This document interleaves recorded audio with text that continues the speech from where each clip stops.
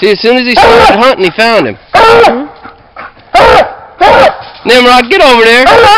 Nimrod said, screw this, I'm going to sleep. He's digging. No, he's in a hole. He ain't digging shit. He's gonna find something in that hole. He's gonna reach up and grab his ass. Talk to him back.